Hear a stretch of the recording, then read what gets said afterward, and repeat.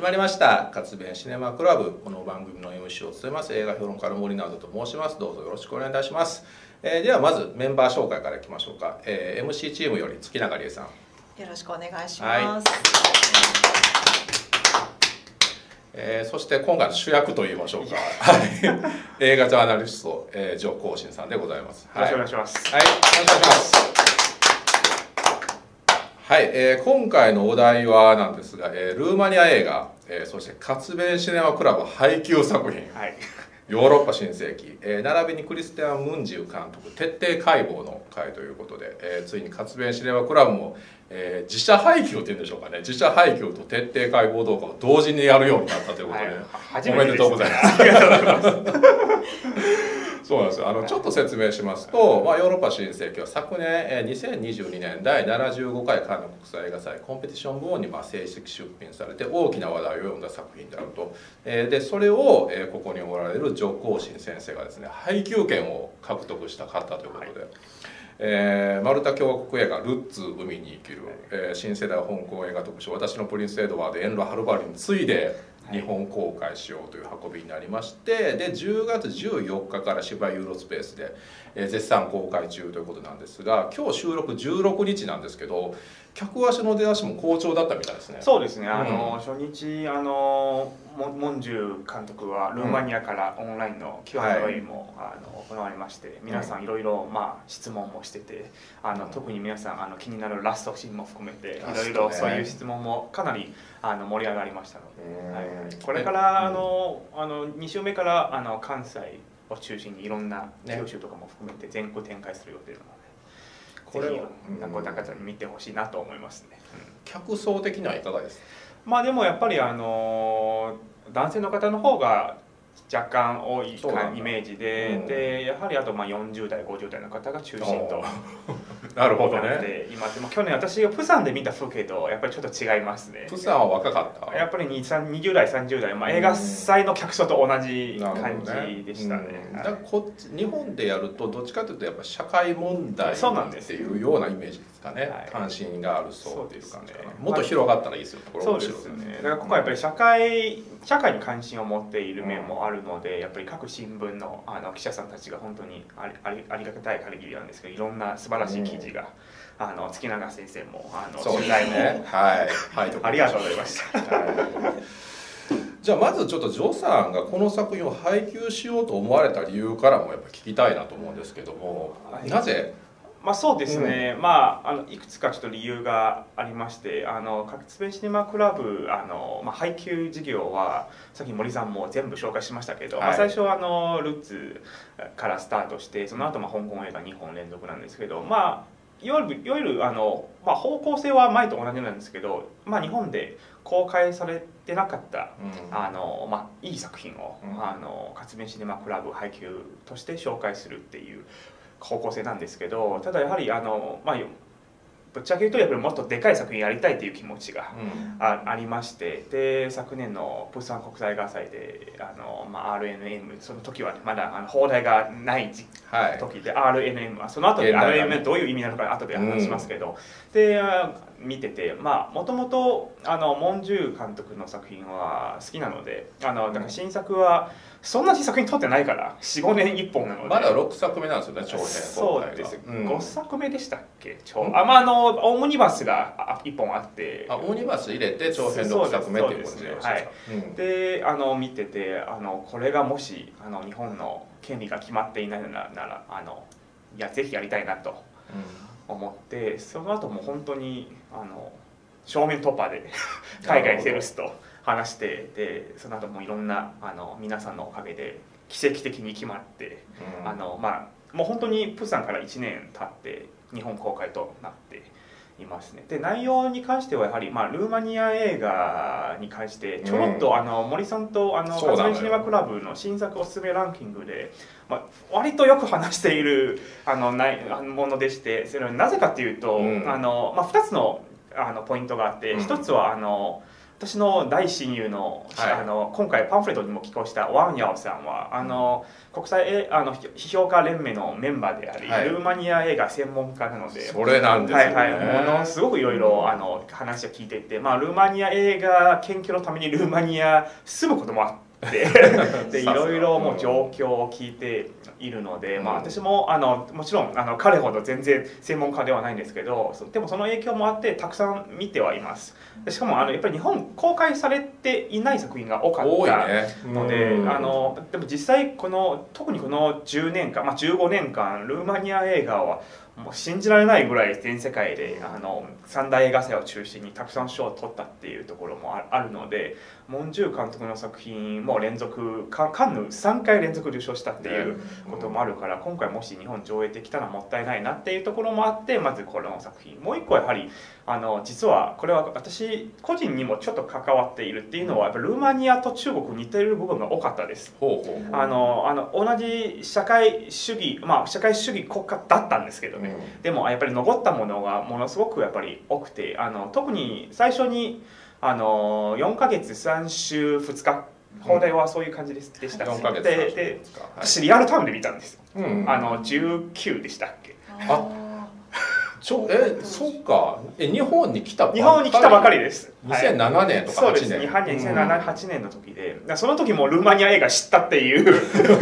不思議な、ね、あのそこからもうあの4か月3週間2日あの本当に半分ぐらいなんかその中の会話とかあの出来事が中国と全く同じこと起こったのでそれもものすごくやっぱりあの共感しやすい部分が多分どっちかというと、まあ、カンヌの視点から見るといわゆるその欧米視点、まあ、西側の視点から見る衝撃さといわゆる中国側から見る衝撃さは全然違う感じなので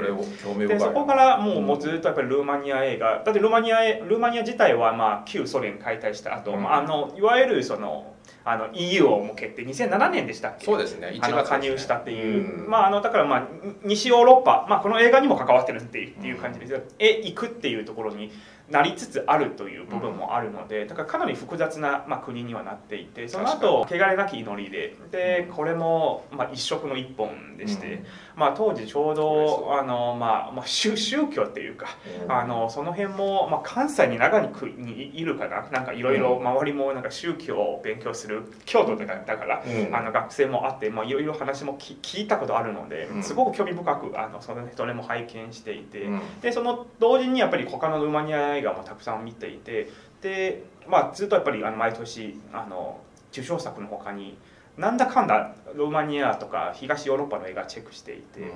でその後エリザのためにはやっぱりちょっとね、はい、びっくりしましたね。あんまりにも中国と似てる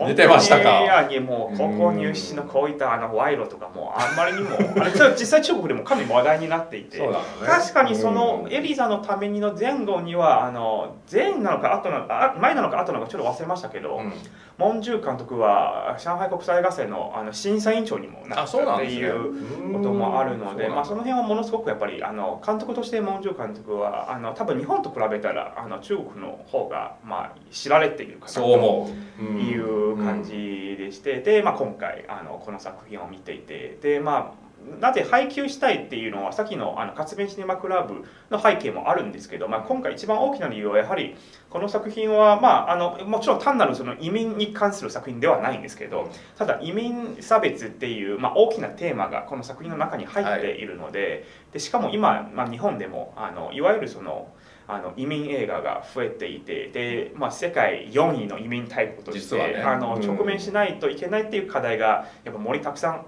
あ,、っててさらに私も移民15年歴だから。だからその辺も含めてやはり今世界はどういうこと起こってるのか、うん、これからもしかしたら日本も同じこと起こってるかもっていうところをやはりあの日本の観客の方々にもあの見てほしくてこの作品をやはりまあ配給したいなという感じですね。さすがスポークスマン完璧な 説明だ。でもねそのとでもおっしゃった通り、そのルーマニアニューウェーブっていうものがあるっていうのは、はい、あの僕ジョさんとのその新作コスメランキングあれ第1回、第1回です。あのタッチミノットタッチミノットタッチミノットの方か。あっちが先か。あっちの先あっちであれをなんかあの2位だかにしてしましたでその時にその後でまたアンラッキーセックスそうでアンラッキーはその後です、うんでその2つがその、まあ、三大映画祭で受賞してるしかももうあれ一等賞よねあれ金熊賞です両方とも両方ともベルリンの金熊賞そうです金熊賞です、うんであのお聞きすると親友がルーマニア映画の研究家で、あのルーマニアニューウェーブというものがあると。でその、まあ、機種というかもう筆頭に立ってこの開拓してきたのがクリスティアン・ムンジュという監督であるそうですね。はい。ここまでのね認識は僕ムンチの監督の作品見てたんだけどなかったんですよね。それで「へえ」とか言ってる動画が残ってるから であの月永さん今回はムンジュ監督にインタビューをされてましたよね。そうですね、はい、週刊文春の記事で、はい、今オンラインにも載ってると思いますけど、はい、えー、オンラインであの監督にはインタビューさせていただきました、はい、これまで作品って見てました？一応あの日本で公開されている、うん、えー、3作品ですよね。そうなんですよね、えー、僕も同じですだから、はい、それは見てます、はい、なるほどねそっか。じゃあちょっとそのなんか、えー、作品の内容にも入っていきたいんですけども先にちょっとじゃあクリスタン・ムンジュ監督の経歴も簡単に押さえておきましょうかね、うん。えー、1968年生まれでルーマニア東部モルダビア地方の都市ヤシの、えー、ご出身でございます大学を出た後しばらく教師とジャーナリストをされてたんですね、うん、であの長編監督デビューは、えー、2002年の「オクシデント」で2007年のその長編第2作、えー、チャウセスク独裁政権下の末期ですよね。1987年を舞台に、まあ、当時同国では違法だった人工中絶という問題を扱った4か月3週と2日2007年の作品が、第60回カンヌ国際映画祭でパルムドールを受賞。これはまあルーマニア映画にとってはもう本当衝撃のそうですね。事件だったってことですよね。同じ年に実はもう一人のクリスティアン・ネスラックス監督の、はい、確かにねカリフォルニア・ドーレミングかな。あれもある視点のグランプリだからだから両方ルマニア映画が。2007年っていうのが結構エポックな年なんですね。で、ね。はい。うん、でさらにねあの修道院の閉鎖的な環境の中で起こる悲劇を描いた「汚れなき祈り」うん、これもその第65回カンヌ国際映画祭え女優賞と脚本賞ダブル受賞と。であの娘のえバカロレアですよね。大学入学試験資格試験か。の合格のためにま奔走するお父さんの姿を通して社会の歪みを浮き彫りにしたえエリゼのために。2016年。これが第69回カンヌ国際映画祭監督賞を受賞と。もういきなり世界有数のカンヌ常連監督になったと。でそのムンジュ監督の6年ぶりの最新作にして、えー、オムニバスでいうと長編6作目、えー、単独では5作目なんですね「えー、ヨーロッパ新世紀」えー、が今回公開になりました。で現代がねちょっとさっきあのジョーさんがおっしゃった RMN なんですけどこれはちょっと説明してもらっていいですか？そうですね。あの、RMN 自体のそのままの意味ですと日本だとまあ MRI の意味。MRI 検査の、ね、検査の意味です、はい、ただあのまあ細かくいろいろ解釈できるので、うん、まあ、いろんな意見も出ていますしそもそも RMN はルーマニアのあの監視症じゃないかなっていうああなるほど、ね、話も確かにそうだね。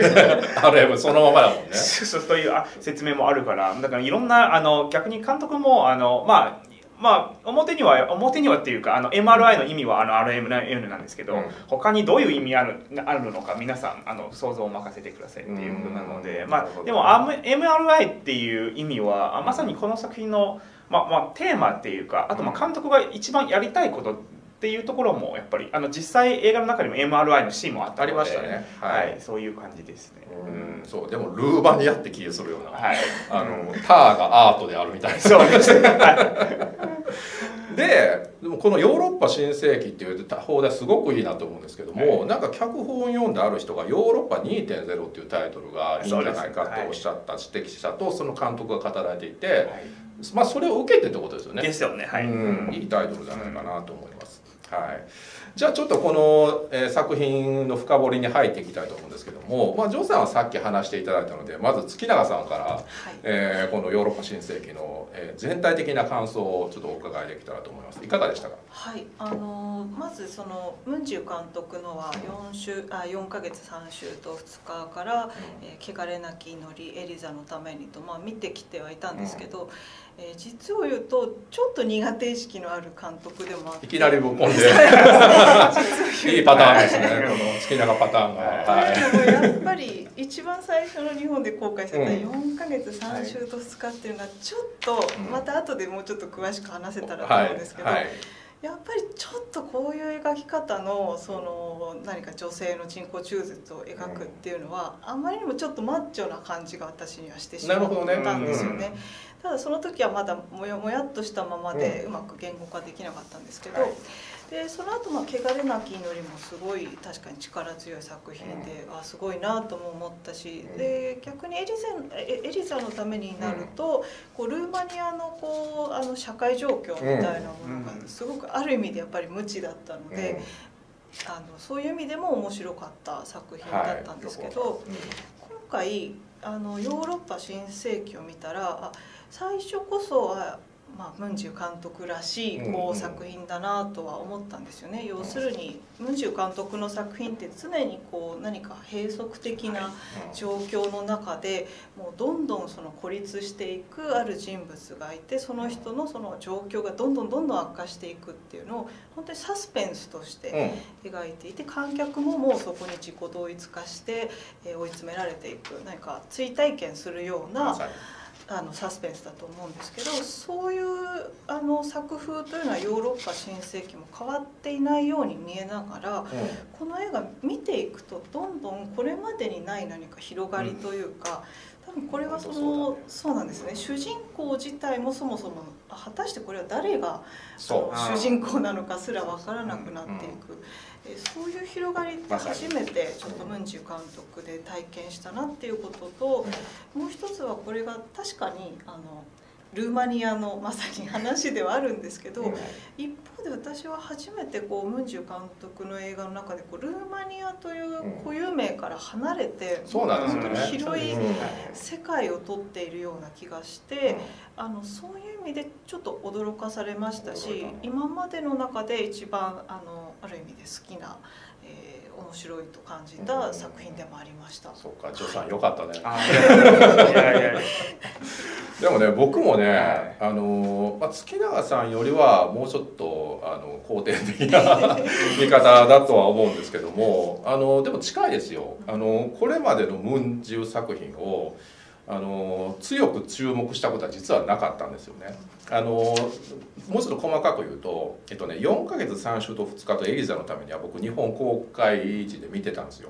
で最初に見たのは4ヶ月の方でしょまあジョさんと同じですよね、はい、パターンとしては。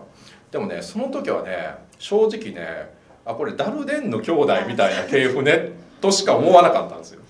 いやおっしゃる通りです。そうでしょ。これはまあ間違いないじゃない。だからカンヌでグランあのパルムドールっていうのは、はい、まあカンヌですごく重宝されそうなダルデンヌフォロワーがルーマニアという国から出てきたんだなと思った。それはさっきあの月永さんがおっしゃったあのサスペンスの文法サスペンス的な応用ですよね。あの要はそのドキュメンタルなスタイルなんだけども計算され尽くした物語を描きそこからその社会の矛盾とか歪みを浮かび上が浮かび上がらせる、まあ、かなり高知な、えー、ある種パズル的と言ってもいいような映画術が基本になっている。で実際その「汚れなき祈り」はダルデンの兄弟が共同プロデューサーに入ってるんですよね、はい、だからそういう指摘がやっぱりたくさんあったから、うん、まあ、ダルデンヌもじゃあサポートしようじゃないかっていう流れになったんでしょうね。で、まあ、このね「汚れなき祈り」だけ実は僕ちょっとうっかり見逃していてあの今回アマゾンプライムであったから見たんですよ。そしたらねあの皮肉にもこのダルデンヌが制作に入ってるこの映画がえ実はかなり独自のムンジュの味が出てると思ってあのこれはすごい面白かったんですよこれちょっと後で言いますね「汚れなき祈り」に関しては。であのヨーロッパ新世紀なんですけどもこれはねあの傑作だと思います。あのすごくいいあのしかもあのこれだからね本当放題良かったと思う。あの現代は確かに MRI 検査でちょっと意味ありげなね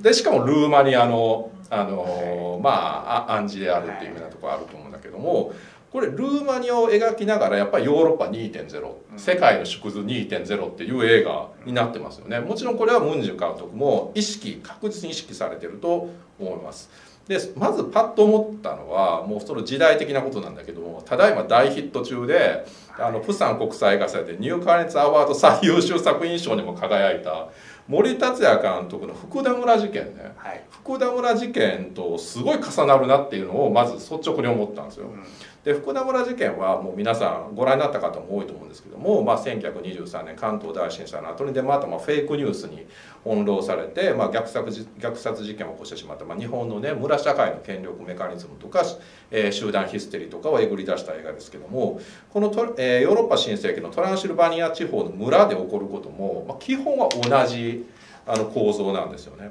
ただその日本とヨーロッパだと、まあ、当然にせその民族的なレイヤー、まあ、ひいたその差別構造の複雑さとか重層性ですよねそれがねまるで違ってくるっていうのをもうほんとまざまざと実感させられた一本ですね。でそれを踏まえてあの日本語字幕を工夫されているのをがやっぱ素晴らしいなと思いまして。あこちらはねあの補足ですけど英語もそうあの国際版もそうなんですよ。あこれ国際版を踏まえた形なのか、はいはい、じゃあ監督もやっぱりこれを望んでるってことですよね。いや監督はものすごく 細かくて色まで指定しました。色も指定してるんですね。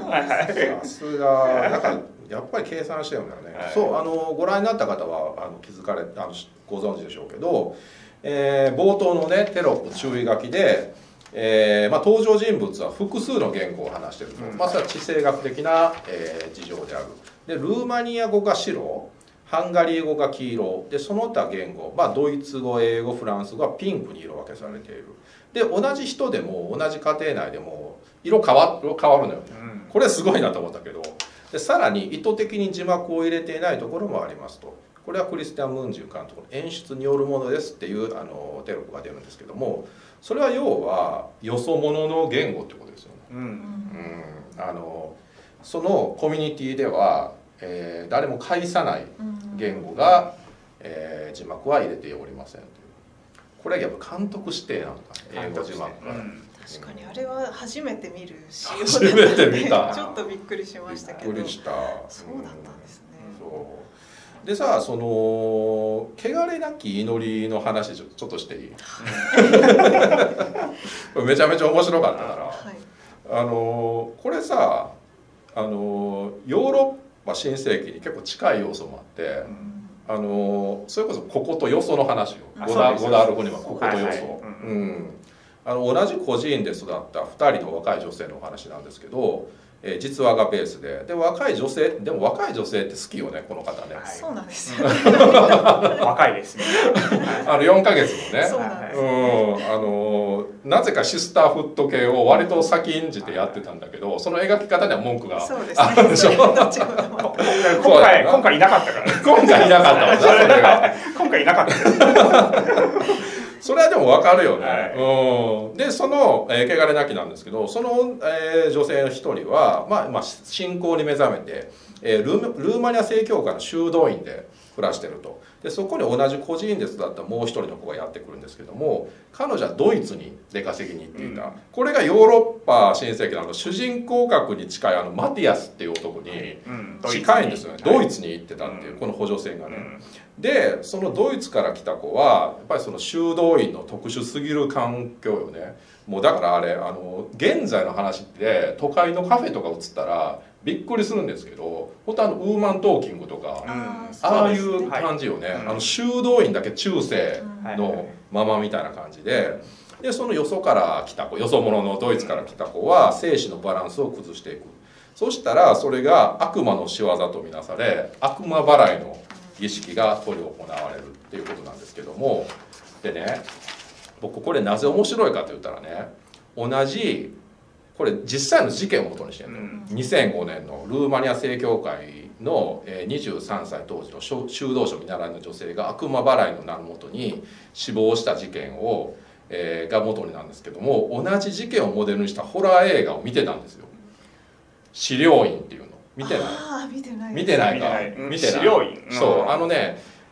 劇場公開はね確かなんか特集上映だけだったんですよ、ただ普通にもう配信とかでやってるんですけど「資料院世界で最も呪われた事件」っていう2017年のホラーが同じ事件を元にしてそれはえっ、ー、と国はどこなんですか？アメリカ映画。でもアメリカイギリスルーマニア合作だったとこれちょっと見てほしい。それでねもう余談ついでごめんね。この間ねこれ見てきたのよ。資料館のシスター。最新作「呪いの秘密」見てる？見てない見てない。えホラー好きでしょでも。好きなんです。好きだけどこの辺見て結構うん終えてない作品も。あそうそうかそうか。これこれね僕一応見てんだよ。あのジェームズ・ワン制作の。資料館シリーズは。でねこれはほぼ同日よな。ヨーロッパ新世これやって。10月13日から劇場公開されてるんですけどこの前作の資料館のシスターがまさに全編ルーマニアが舞台であのトランシルバニトランシルバニアとかでロケされてるので内容も修道院ものでその悪魔払いも当然絡んでくる内容。だからさその汚れなき祈りももうホラーになりそうなのよ。いかうん。いかにも。い今にも。そうですね。でもつ作り方もねちょっと全然あの4か月と違うとこ違ろがうとこあるよな。やっぱりりなんかあのちょっとそのゴシックのまがまがしい雰囲気とかがあって、はい。ホラーになる前の現実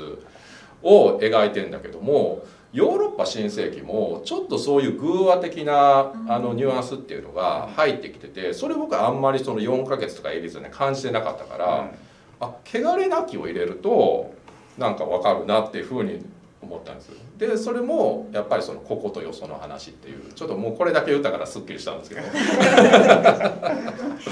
そうもですね、うん。確かにどこかのその閉じられたあるコミュニティの中にこそう。う異分子がというか、えーよそのこう異分子とされる存在が入ってきて起こる、まあ、悲劇という悲意味では確かに汚れなき祈りとあのヨーロッパ新世紀が一番対応しているかもしれない。そうなんですよ。実はトランねシルバニア自体があの、うん。確かに吸血鬼ドラキュラのなんかそういう まあ伝説とかもそういった背景もあるのでものすごく複雑な、うん。あの街でして、まあ、映画の中でもちょろっとあの描かれあの描かれている部分もあるので昔はどういう感じなのかみたいな、そういったところもあるので、はい。えルーマニア行ったことある？あないです。ないのか、はい。でもやっぱりなんかそういうちょっとその、はい。ドラキュラだったりとかそうですね。そういうモチーフはなんかその地元の人たちもなんか思ってるところあるんですか、はいうん、多分あるんじゃないかなと。それはちょっと詳しくないので。なるほどね、うん。そうでも今回もねなんかそのなんか風景とかもすごく幻想的だったりするから。いや風景ロケ、まあ、もも村ですけどあのロケすごかったですね。あのしかも色のトーンもねちょっとあの、まあ、さっき森さんも話まあググアー的っていうかただ村何村なのか最最後までどこもか書かれてないし、あのそうか。もうか架空っていうか、まあ、そういう特別な存在の場所っていう描き方で、なるほどね、はい。だから特定の村っていうわけではないのか、はいこうちょっとこんそうですよね、うん。はい。あとそのヨーロッパ新世紀だとこう、うん。これまでにないというかあの、まあ、一番最後のシーンについてはまた後で話すと思いますけど、うん。はい。一番最後のシーンもそうですし割とこう最初からあのそれこそマティアスのあの息子がこう森で何を見たのかっていうところから、そうですね、うん。そういうところからして何かちょっと幻想的なというかあの息あの少年が見たのは何だったのかっていうことがある意味でこれって現実の何かなのか、あるいは、まあ、亡霊というか何か存在しない何かなんじゃないかみたいなことって考えてみれば今までのあのムンジュ監督の中のあの徹底した本当にリアリズムにおいてはない要素だなと思ったんですけどただ言われてみれば汚れなき祈りも、まあ、徹底的に現実ではあるんですけれども一方でそのそこに登場する人たちはその悪魔であったり神という。やり方をね。そうなんですよね。見えない何かをこう、うんうんうんあの信じてそそれを成り立たせよせようとしている、ね。すごいセリフ量ですね。しかもあっちも。あそうです。セリフあそうだね。うん。確かに。うん確かに言葉の映画でもあるかな。今回もすごいセリフ量ですね。しかも色変わるし。色変わる。聞き取れない感じはありますよね。すごいよねそうトップシーンはすごく印象的ですよね、うんまず登場するのがその、まあ、ルディ君っていう、ね、少年なんですけどこれでもあれだよなそのメインビジュアルとかにも使メインビジュアルをあの日本版ポスターを使いました。そうだよねはいはいはい。彼が主役かと思ったら別にそうでもない。そうなんですよね。はいはい。そんなに登場シーンが多いというわけではないです。むしろ一番この言葉が多い映画の中で喋らない。そう喋らない。そうなんか全然喋らない。しかも一瞬の光のシーンをあの使いましたね。大体暗いでうん。歩いてグンって光光がかかっていてまたポンって逃げ逃げたっていう。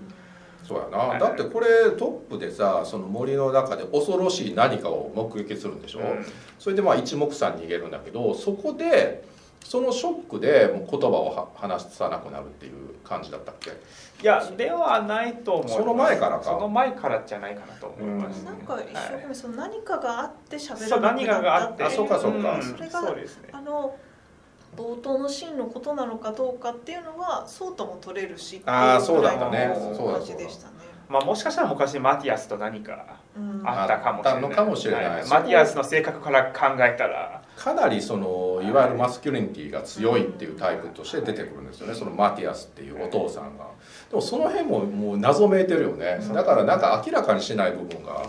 すごく多いんですよね、うん、でそのさあそのマティアスがドイツの食肉工場で働いてる、まあ、羊の群れが映るってこれはどうあの何だかと思ったら食肉用の羊だったっていうようなシーンにこう映っていくんですけどもやっぱりあのそのドイツで働くっていうのはあのこのルーマニアの今の状況でいうと出稼ぎ先としてはドイツっていうのはかなり一番一般的なところなんですか？まあそうですね。まず、まあ、近いし、うん、あと、まあ、EU って言えばドイツがやっぱり一番目指すところでもありあるのでかなりあれ意識的に使ってる言ってしまえば状況みたいな感じですね。うん、そうだね、はい、東東京やな、はい、EU の東京みたいな感じです。ねはいはい、うん EU の東京がドイツで京都かフランフランスみたいな。っていう分かんないけど。だってあの中中国あのよのにいる時はよくあのヨーロッパと比べたたんですよ。で、うん、実際あの面積ほぼ同じなんですよ。中国960でヨーロッパは1000ですね。だだだからもうもうなんかあのまあ、中国は一つの国なんですけどヨーロッパはバラバラなんですよ。でも目指すところとか地域偏見とかも実際近い部分がかなり多かったっていう、まあ、方言も含めて。なるほど、ね、はい、だからまああのここが上海でここが北京そうであの文化も全然違いますしなんかな慣れないと結局っていうあともう差別も普通に起こっているっていうところも。なるほどね、そうかヨーロッパイコール中国っていう発想はなかなか出てこない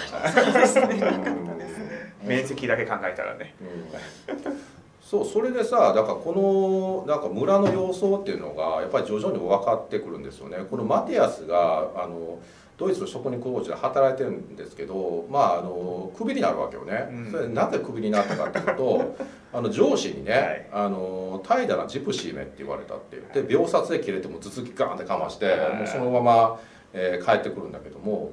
あのなんかここからもちょっと見えてくるものがありますよねでそのルーマニアのトランシバニア地方のその村に帰ってきたらそのシーラっていうあの女性がパン工場のオーナーから経営を任されているんだけどその働き手パン職人が足らないと。でさっきあのあのさっきのマティアスもそうだったけど村人地元の村人たちはもっと給料のいい仕事を求めてヨーロ西ヨーロッパにね諸国に出稼ぎに行っているという説明があって。なるほどっていうふうに分かってくるんですけどもこのルーマニアのさこの舞台になってる村の様相っていうことからちょっとお聞きしたいんですけども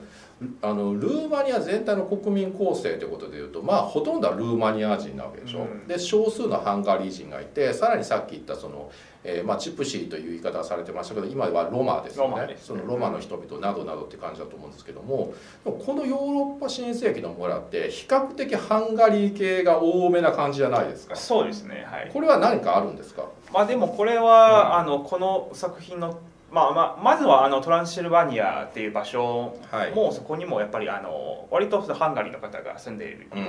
方が多いエリアとしてまたあとやっぱりあの描きたいテーマはやっぱりね多民族、あのやっぱり、まあまあ、移民っていうあの多文化が混ざっている、まあ、エリアを、まあ、やっぱりそのそこで何が起こったのかっていうことを描きたいのでそれを選んだんじゃないかなと思いました。うん、確かあれですよね。実際にこのモデルになった事件が起こった町っていう、うん、あこれもそう。もともと事件事件があったはいはい、そこ自体がそもそもそのハンガリー系の意味が多い場所だったっていうのは確かインタビューでもおっしゃってました、ね、おっしゃってました、なるほどね。そう。だからさっき言ったそのパン工場の、えー、経営を任されてるシーラさんも、えー、自分のことは民族的なハンガリー系であるって言い方されるんですよね。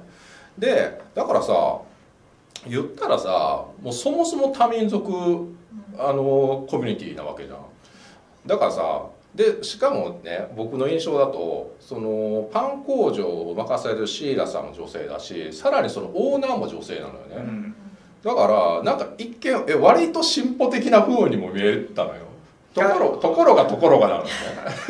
いやでもそれはまた中国に近いかなと思います。女性が強い部分がと弱い部分は両方ある。両方ある。っていうまあなんかあのこれあの単純に社会的社会主義国って言えばどうかわからないんですけどただ、はい、やはりまあ女性はあのいわゆるそのいわゆるまあ欧米とまあ日本と違って、まあ、基本共働きで、あの女性であの会社を経営する方割と多かったんですけどただやっぱり家父長制のイメージがまだ強いっていう両方があるっていう。両方があるの。あのだってあのシスターの中国映画を思い出したら強いが弱いっていう両面を持っている。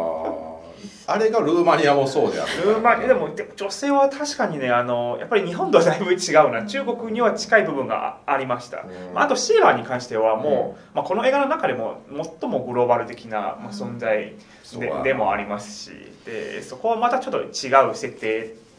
あのマティアスとの比べも含めていろいろできる方なんです、これそうだからそこよ、はいはいはい、これでもさあの、特に詳しい説明はないんだけども、あのマティアスはまあ妻子持ちなんだけどもシーラと元恋人同士で、うん、あのよりを戻すっていうあのラインがあるわけですよ。はい、でシーラはまあ言ったらさあのちょっと知識人階級的な佇まいの方でしょ、はい、でマティアスは割とゴリゴリの肉体労働者って感じなんだけども、この2人がこのどう惹かれ合ったかっていうのは別に説明はされてなくて設定としてあるだけなんですよね。はい。この辺って月永さんどういう意味でましたどうどうなんでしょうね。ね。ただ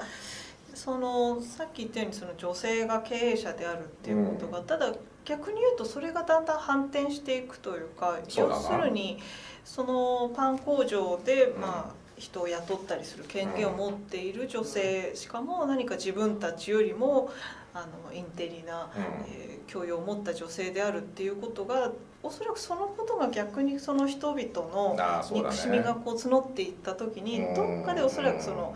女のくせにみたいなこう反転していくっていうのがあるんじゃないかなと思うんですよね。だからやっぱりまあ社会状況としても実際にこういう確か実際の元になった事件の、えー、パン工場もマティアスのモデルの人は特にいなかったみたいなんですけど、えー、あのシーラの役というか、うん、の人はパン工場はやっぱりオーナーの女性の人がいてただああいう映画みたいな2人あの、うん、女性がっていうことではなかったらしくて1人だったらしいんですけどその人がかなり矢面に立たされたって言っていたので。やっぱりそこのそのちょっと醜悪さというか男たちによって結局どんどん責め立てられるのが女性であるっていう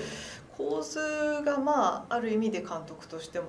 まあ、気に入ったと言ったらあれですけどなるほど、ね、あの見せたかったのかなという気はしますね。まあ、マティアスっていう人物はまあフィクションですよね。あの事件とモデルの事件とは関係ない描きたいっていうあの部分ですよね。はいはい、彼はだからさ、はいはい、すごくそのルーマニアのまああの保守的なでも割とドイツ方面にルーツがあるみたいなはい、あの説明ありましたよね。ザ男ですね。そう、ザザ男だな。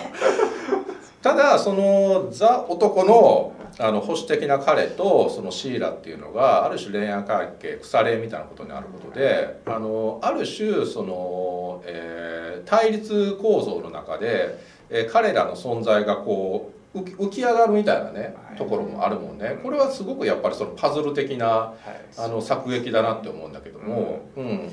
あのそう中ブランになるための存在、うん、主人公っていう感じはしましたけどね。うん、あとちょっとその辺もだから描き方としてもはっきりとは描かれてないですけど、うん、どっかでそのマティアスがこう家庭でもこううまくいかなかったり、こうだんだん村の人ともこう揉めてきた時に、ある瞬間こうシーラに依存しようとするというかこう、自分とあのまあ付き合ってるんだ俺たちはっていう、この関係にすがろうとするんですけど、シーラの方はなんかこう一貫してもっと、なんて言うんでしょう肉体的な関係としか思ってないような、あの何かズバリ言ってたしなそうあの謎のセリフが愛してるって言って そんなんじゃないっていう、そそ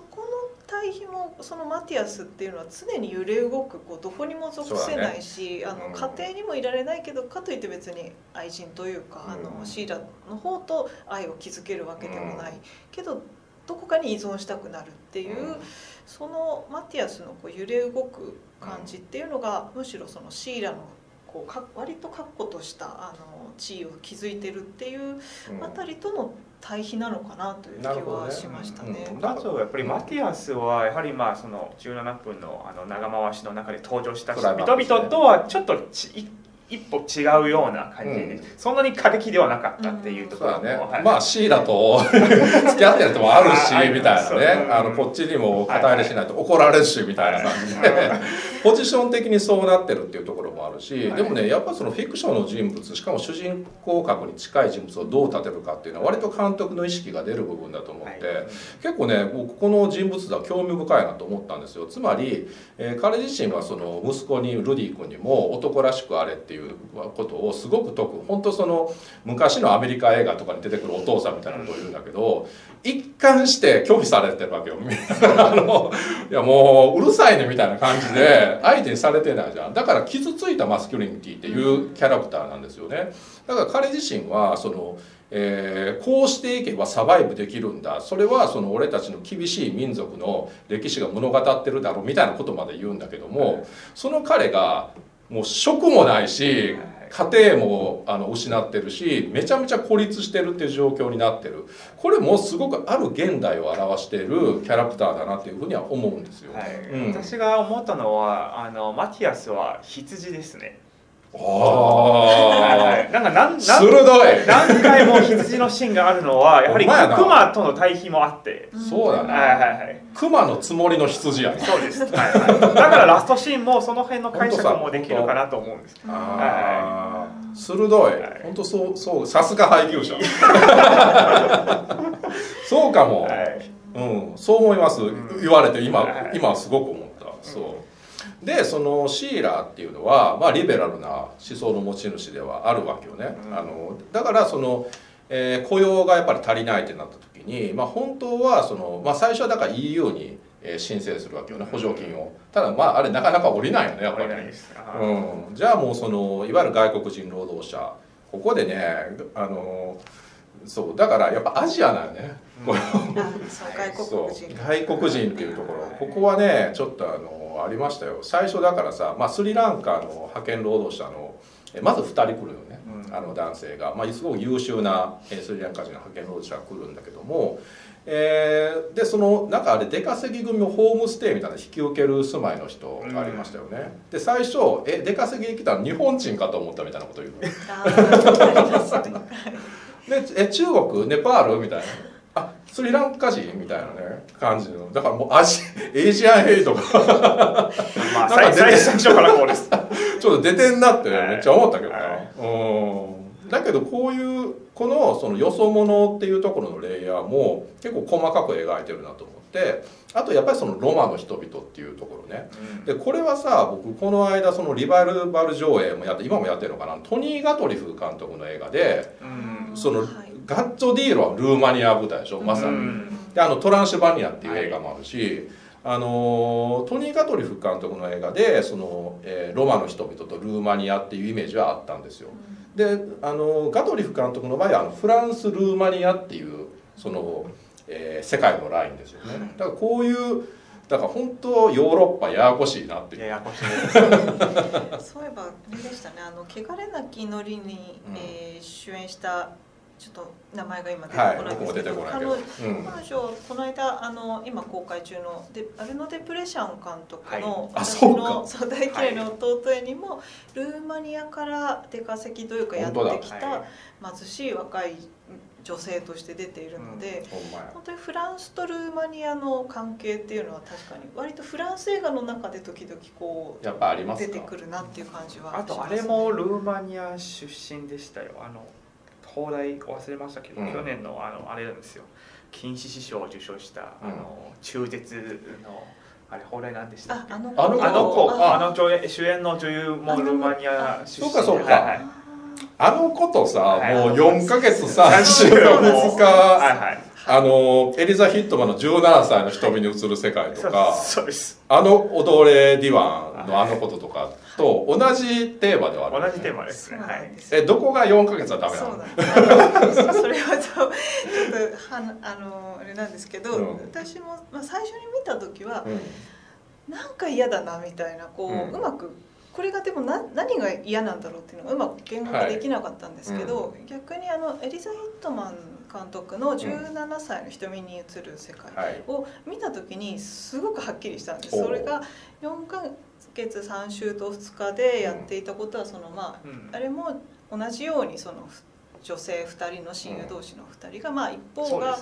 あの中絶をしなきゃいけないのでこう駆けずり回るっていう話ですけど、やっぱりそのさっきから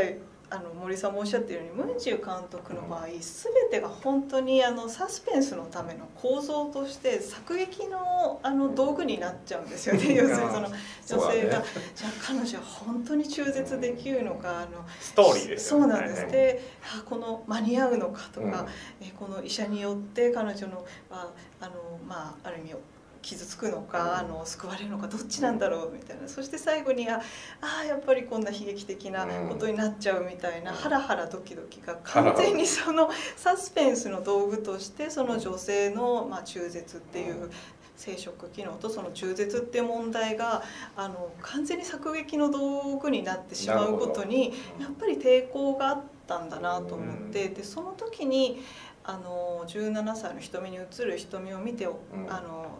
あなるほどこれだと思ったのは、うん。やっぱり同じようにすごくその中絶がまあできないあの親の同意がないとできないっていう少女たちのこう、まあ、かなり悲惨な旅の過程を描いてるんですけれども、その中で彼女たちが本当に手を取り合う瞬間であったり、その中でもかすかなこう女性たちの連帯であったり、なんとかその先を見つけていこうとするっていう、きちんとそういう細部を描いてることにやっぱり感動した時にやっぱりなんかこの今までまあムンジュ監督だけではないんですけど、うん。その女性が子供を産むとか、うん。あの戦時中にそれこそ子供をどうやって産むかとか。中絶できない国でどうやって中絶するっていうことをあまりにも映画はあの 道具としてちょっと扱いすぎてませんかっていう。映画がエンタメ的に削除したそうなんです。社会完全にスペクタクルになっちゃってるじゃないかっていう、監督とその事件の距離ですよね。そうなんですよね、うんあのモンジュー監督は冷静すぎるからそうなんです。よもう完全に面白いこれは使えるネタみたいにこう 多分そこか思なってしまうことがあこれがちょっと自分がこうモヤモヤしてたところだなっていうあの、まあ、逆にはっきりしたんですけどなるほど。だからあのことに関してはそういう意味でどちらかというとあのムンジュ監督の4ヶ月に近い構成かもしれないんですけど、やっぱり違うなと思ったのは、その中でも彼女のこう何を目指してその中絶をしたいのかとか必ずしも全てが悲劇ではないという、あの光の部分だったりそういうところにもあのちゃんと描いているっていうことが、あの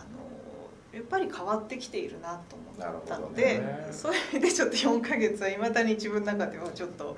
あ逆に4ヶ月の時にはあの、光が当たらなかったことにこのエリザ・ヒットマン監督だったり、ねあのうん女性監督たちがちゃんと描こうとし始めたんだなっていう。着眼は良かったんだけどねあいやだって実際4ヶ月はものすごいハラハラするじゃないですか。面白いから。面白いですよ走り回って間に合う。どうどうなるかストーリー。どうなるかっていう感じですよね。あ時間時間間に合うみたいな、でもそんなタイムリミットをそれこそ爆弾を処理できるかどうかみたいな、なるほどね。胎児が爆弾扱いになっちゃうっていうのはうん。ちょっとどうなのかなっていう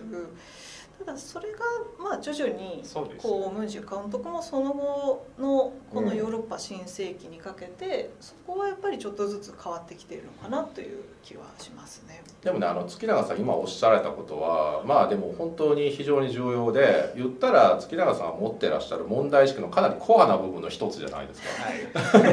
モンジュ監督だけじゃないですよね。はいあの本当にそういうそのなんだろう社会問題を映画が扱う時、まあそれこそターとかももそうなんだけどね、はい、あのそれをそのなんだろうエンタメ的に搾取するっていうその距離感って割とやっぱりねデリケートな問題ですよね、うん、難しいと思う、ねうん、もちろん映画はそもそもそこで成り立っているわけですからいかがわしさってあるから。な、うん、でフィクションの場合特にそうで、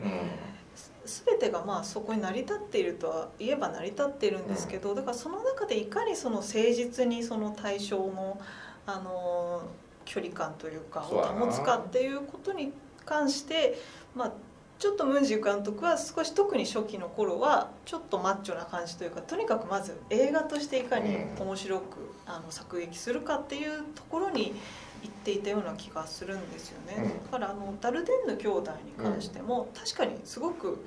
まあそそっくりというかその初期の頃はダルデンヌ兄弟に似ているなっていうのは誰もが思うんですけど、一方でダルデンヌ兄弟って特にずっと続けていくにつれて、はい、一貫してその最後にはその何て言うんでしょう主人公である、一番の弱者である人たちがどうやってその最後に希望をかすかにでも見出すかっていうところまでをなんとか見守ろうとするっていう。確か見守ろう。そうなんですよね、そこがこうダルデンヌ兄弟のあのまあ良心というかこう、通底するところがムンジュ監督はちょっとそそれとはやっぱりちょっと違うところにあるなってもうちょっとやっぱり突き放す感じは、そこはやっぱり東ヨーロッパかなと思いますね。そんな気はします。もっとやっぱり社会状況が多分映画以上残酷だから、うん、だからその距離感は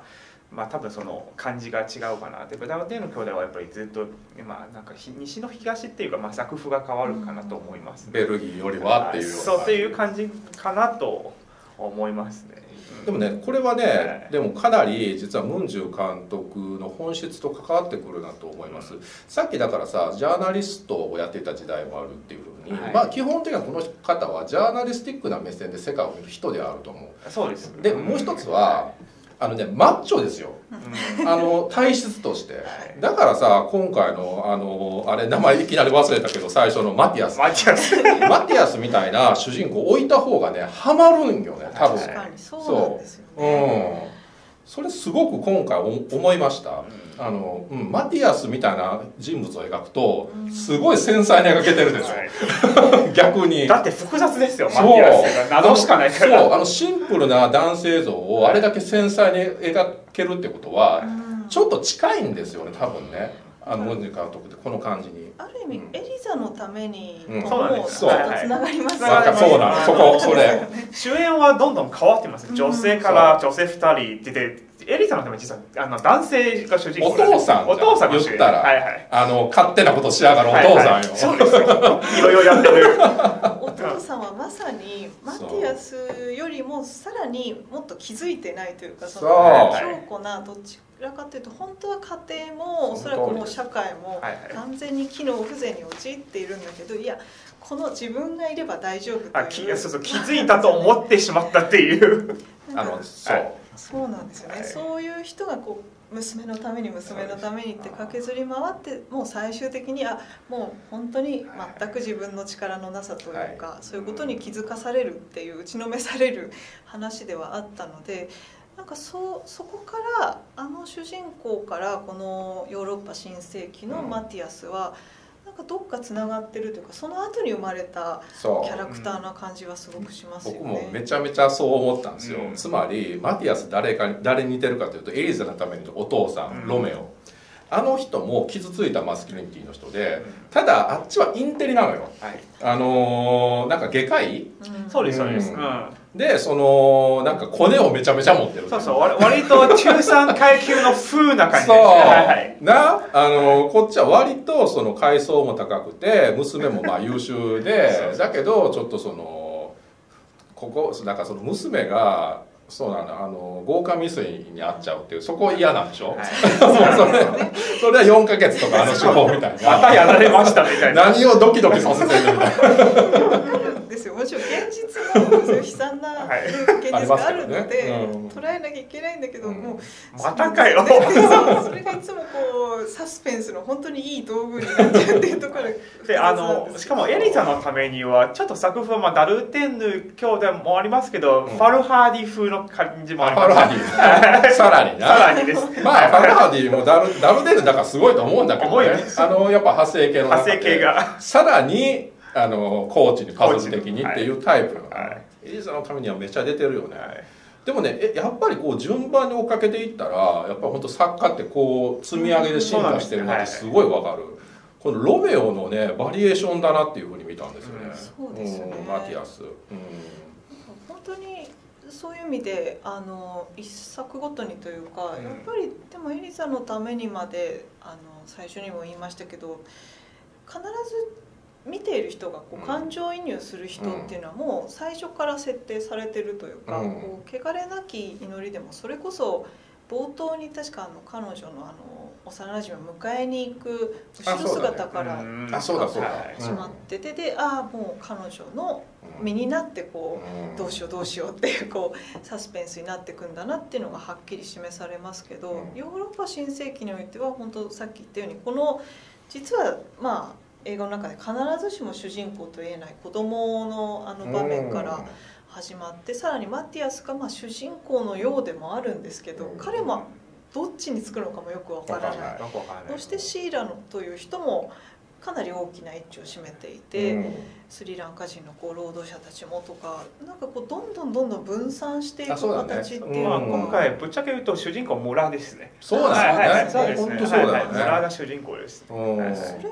ンジュ監督の中でも初めてな気がします初めてですね。主人公主人公っていうあのそもそも存在していないっていう、そうだね、はいはい。だってエリザとかも要するにそのルーマニアの世界構造っていうのは見えてくるけどあくまで個人が動くことによってだもんね。今回はもう結構ガチで、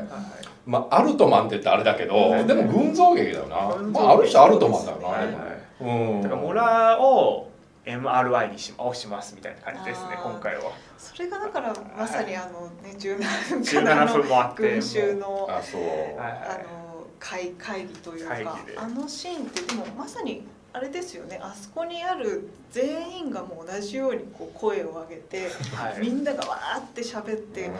顔がみんなの顔が映るっていう、うん。あれこそがあそこにいる全員の映画であるっていうあそう確かに。そうですことですよね。あそこのシーンだけで2日間23テイクらしいですよあああの17分を撮った17で20だから資料を読んだんですけどうん。26人にセリフがあってうん全部10ページのセリフ量が。えあれそんな結構ガチガチなの？ガチガチでかだからあのセリフの順番間違ってると変なものになっちゃうから多分全部か だからもうかなり難しいじゃないかなと。そうなんかいきなり「おおおできないじゃないですか。やっぱり順番がある。ああそうだな。ちょっとずつ議論が白熱して。まあ確かにロジカルに組み立てられてるってやっぱたされてたわ。そうそうあの会話のね順番がね、うん。なんかそういうこと最終的に爆発でバーっていう。あれでも演じてるのって地元の方な？のいやあのエキストラと言っていたので、エキストラ。じまゃああ、ある程度のワークショップ。ワークショップ的な。じゃないと難しいですよ。あの単純に喧嘩しろみたいに言ってもね。多分だからなんかすごくあのシーンであのインタビューで言っていたことがすごく面白かったのが、あのなんていうんですか。もうカメラは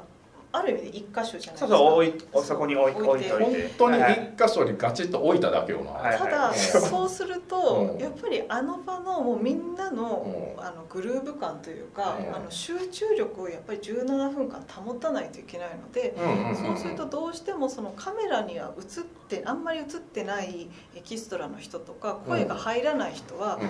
どうしてもその集中力が途切れちゃうというか、あのそうだなんかこう自分は参加してないような気持ちになってしまうから、うんそれをいかに回避するかのためにいろんな工夫したって言ってたのがすごい面白くて。なるほど、一つは、うん、え？って思ったのは、うん。あの結構いろんなところに鏡を置いて床とか、うん。あのいろんなところに鏡を置い反射で。てそうなんです、はいはい。自分は見られてるっていう 意識を使カメラの代わりと緊緊張感を作る。へったり、あとね。カメラもその撮ってるのは一つなんですけど、うん。そのもういっぱい作置いてるっていう。そうなんです。作劇とあしてその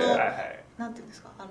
ジャーナリストのような人も来てカメラで撮ってるって設定にしてあの置いて、まあ、こういうふうに今も撮影中で撮ってますけどなんかあるともうそこにたとえ自分が映ってないと思ってもすごくその場の一体感がみんな集中できるからっていうとにかくそれを全員保ちつつそのセリフがある人たちの演技もしっかり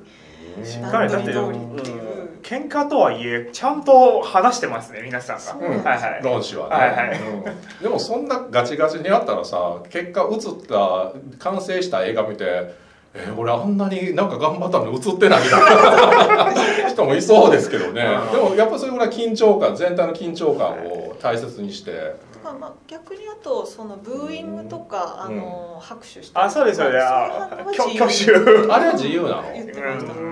挙手も？まあ、あ挙手挙手は多分あれは演出演出をけど割とこうなんだよとかこう入ってない声でもいいから、うん、あの好きなようにその聞いて自分が思うようにあそうなの？やってくれっても言っていたっていうので。2018年以降はあのあの全部支払いましたみたいなそのあはいはいはい、シーラが。シーラとあの社長オーナーがいるやつね。あこのそうこれねだからそうないきなりその話になってるけど、要はあのスリランカ人従業者のね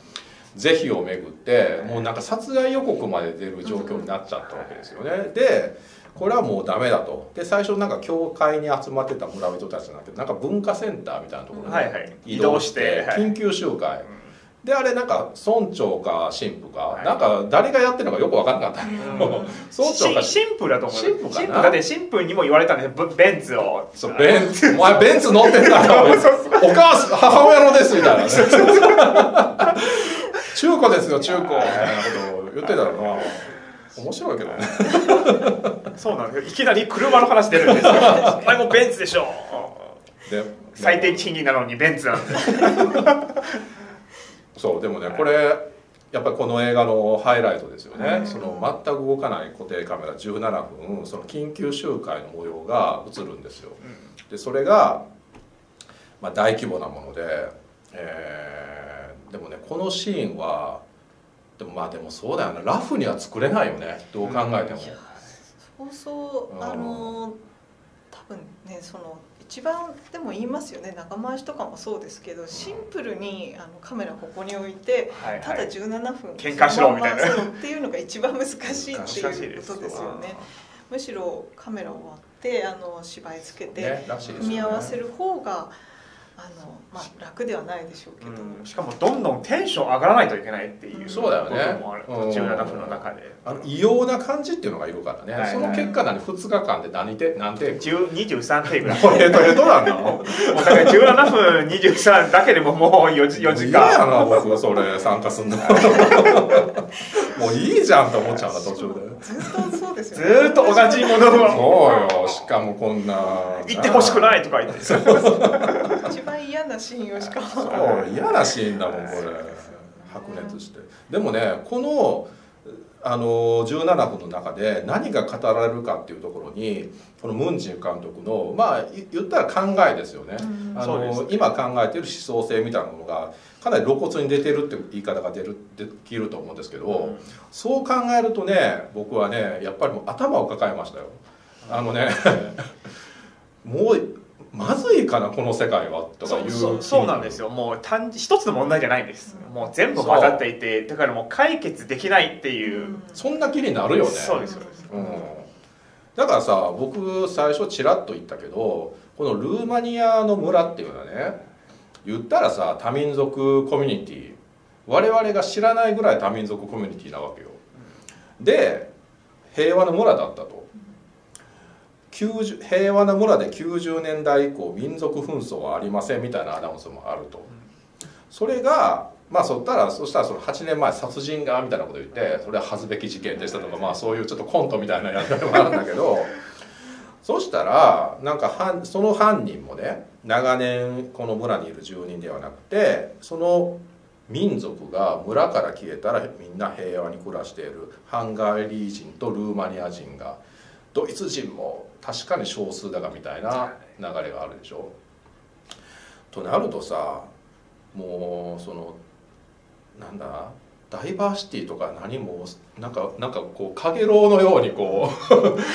う なんかもうもわもわってなるぐらいにやっぱりダメなのかって思っちゃうような感じがあるよね。そこは本当ちょっとこのムンジュ監督がだからどういう結局あの思いというかっていうのは考えますよね。おそらくそのアメリカ的なハリウッド映画的な多様性というダイバーシティというものに関してはそんなのは偽善だろうっていう態度があるじゃないですか。てるよな。うん、そう思う。だってフランス人の環境が学者がかなりキーパーソンよね。キーパーソン。NGO 職員。はいはい、熊を数える仕事をする。もうさ、そうそのだからやっぱりフランスルーマニアっていう線もあるよね。でそれはもう完全に西欧諸国のエリートっていうそうなんですイメージで出てくるわけ。ただ会話できないじゃないですか。そのそ 村人と。古典版やったもうもう完全に会話できない。あのものものすごく真面目にちゃんと説明するのにもうかなりバーンって反発して。そうなんですね、はい、ある意味では本当に良心の人ではあるんですけどもあの中に放り込まれると全く空虚なあのことしか言っていない人物になってしまって、うん、そうなのよ、うんあと私もう一個考えたのはやはり EU 自体もやはりいろいろ問題あるじゃないかなと。だからもう EU の縮図をそうななぜかっていうとやっぱり環境政策自体がやっぱりいろいろやっているのは間違ってないんですけど、ただちゃんとこの、まあ、いわゆるそのルーマニアも含めて他の国をちゃんと説明していないからこうなっているっていうことも、だからあの誤解されるかっていうかあの数えることだけでしょでももう全然会話できないレベルになっている。っていうもういろんなことが、ま、混ざっててでそっちもあのパン工場もあの人数を増やせば補助金もらえるでしょみたいなそういうなんか 全部裏があるようなだから喧嘩しかないんですよ。そう、はいはい。ででもあの話の期間感じはやっぱ日本でももうまさに起こってるもんね完全にね。はいでもねあのやっぱりそのフランスの立ち位置をこうするこれだからさカンヌで カンヌに集まったジャーナリストとかもさ言ったらああいうタイプなわけじゃん、はい、もういたたまれない気持ちになったから。結構だからなんかそういうことはちょっと言ってましたね。あの カンヌのジャーナリストの中にはだから全然なんか、あの自分は無関係みたいな態度で質問してくる人もたくさんいたけどみたいな。ああ監督はね、いやあれお前だよみたいな。なんかそういうの聞くとまさにあのこの映画の中の出てくる彼みたいなこう。気にもなってきますよね。だからどうどうなんでしょうね。なんか実際の事件も確かあのああいう話し合いの場面がネット上に映像として出ちゃってそれがニュースとかにもなって、そうですね。大問題になったっていう、まあ、要するにこんな、まあ、恥ずべきというか、あの愚かな外国人排斥運動がこんな村で起こったみたいになったけれども。ただそうするとじゃあその村の人たちが本当に差別者として特別にひどい人たちなのかっていうとそこや、ね、そうではないだろうっていうまあ、そういうことですよね、うん、そこはちょっと人間の、まあ、動物性っていうかやっぱり外部から来た敵に対して危機感を感じるっていうところですよね。それでもさ、はいはい、これ本当ねやっぱりもうちょっと本当そういうふうにまともに捉えないとダメだなって思う。これをその恥ずべきあの様相であるっていうのってまさにそのフランス的な上から目線っていう意識高い的な上から目線に過ぎないっていうふうに無力化されるっていうところをわざわざと示してるよね。ななんかねだからねこれは僕やっぱすごい真意だなって思いましたよ。あの自分も全くだからそこは他人事ではないっていうのはやっぱりこのなんかある種その意識みたいなこと社会的、えー、社会的問題意識みたいなことを洗練させていくとあのあのフランスの NGO 職員の青年のような感じになっていくんだけどそうした時あの泥臭い現実から浮いちゃうのよね完全に、うん、かなりこれ最近また改めてこの17分を見てやっぱりすすごいいろんなもの入ってるな例えばまたあの出稼ぎ族と生活補助を狙う族の人の考え方もそうですし、ね、あとはまあ最低賃金っていう話で出したんですけどそれもななんていうかあの今までのあの社会主義の国のイメージですと、うん。アメリカファクトリーなんですよ。頑張ってあの仕事すればお金入るっていううん。だからそういうルルールっていうよりはあのお金が欲しいっていう、まあ、だからあのアジアから多分あの最低賃金でもみんなやるっていう、うん。でも今ルーマニアもやっぱりちゃんとそのヨーロッパスタンダードに、まあ、EU スタンダードになってから、うん。こういう、まあまあ、ルールもできててそのいろんな矛盾がやっぱり混ざっていて結局この人が人の考えがもう常に揺れてるんですよ。こっちがこっちこっちこっちに行っちゃうっていう。そうだね。すごく複雑ででもかなりある意味ここちらのあの17分の脚本もものすごく計算したなと思いましたね。してるね、はいはいはい。だからさその日本は本当今円安で経済力が下がってきてるわけ。そうなった時に例えばですけど他のそのアジア諸国に行った方がいいあのバイトで金稼げるよっていう話がどんどん上がってきてますよね今実際海外に出稼ぎに行っている日本の方が増えましたね。増えてるはい、増えましたね。だからルーマニアトランシルバニア貸してるってことよあ日本自体もねであのアジアからまたいろんなあの労働力が日本に入って、そう。ん、日本はさらに複雑でまたそういう富裕層も日本来るので。うそうだな。そうそうそう。だから日本もまたあとまあ言ってしまえば政治的にも中国とアメリカのまあ間に入ってる間ですよね、はいはい。うん、そういう意味で言うと本当いろんなところでいろんな分断がこう複雑に起こりまくるってことになってて、はで一番だから僕割とキーポイントになるって思ったところがえっ、とねあのーなんか数があるわけよ。なんか賛成と反対。これ何だったっけな？あそう8人なんかなんかあれですね。あのパン工場がだからその外国人労働者を雇ったことに関する、はい。えー署名運動が署名運動そうそうです、ん。シーラーがありそうでで署名運動とその反対者。はい。でそれが、えーもう圧倒的に、えー彼らをもう強制送還させろっていう方の数が多いと。で395対28か。28、うん、そしたら411ですみたいなのがちょっとセリフもあるんだけども、そしたらある人物が「おい民主主義も守れないのか。395対28だぞ。話し合いは終了だ」っていうわけ。要するに多数決ってやつね。はい。だから民主主義とポピュリズムっていうものが簡単に一緒くたになってるっていう。そうなんですよね。民主主義は決して多数決のその多数じゃないそうむしろ少数の意見を。そうそうマイノリティも守らないです。はい。なんだけどでもまさに今日本もそうですよね。これねめっちゃ言う人多いでしょ。そうなんですよね。選挙でそれこそ負けた人にはもう発言権がないっていうことを当然のようにそれが民主主義だとあの思う人が本当に多くなっているようになんかでもこれって本当にまさに今の現実なんですよね。そう。もうね同じなんやなって思っちゃって、でも多数決がさその民主主義ってなんでこんなこと それでも選挙ってことかなって思ったのです結局ね多く票を集めたところうん人がえ国民の代表ですみたいな感じになるっていうんでしょもうむちゃくちゃやなと思って、そうするとうん。負けた方の人は少数派は何も言えなくなるっていう、どこが民主主義やねんって思ったけどで確かにそうなんですよね、それながんかまあでも言い方あの上から目線ですかもしれないですけどただやっぱりねあのやっぱり本当に一部の人あの、まあ、おそらく SNS 上もそうなんですけど、ちょっと分かったらもう全部分かったようにパンパンモード喋る人多かったですね。だからそういう民主主義であれ何々何か何かの専専門用語を実際中身分かってないのにもうそのままパンって言ってしまう人が。逆にあのやっぱり分からないからあの話さない方がいいっていう方はやっぱりずっと話さあの話はしませんのでだから一方的にそっちの方声がでかくなっているっていう、SNS 上の構造もそうなってますね。うん。だからさまあそうは思うまさにその通り、うん。で一方こうも思うわけよ。民主主義の限界みたいなこともね、うん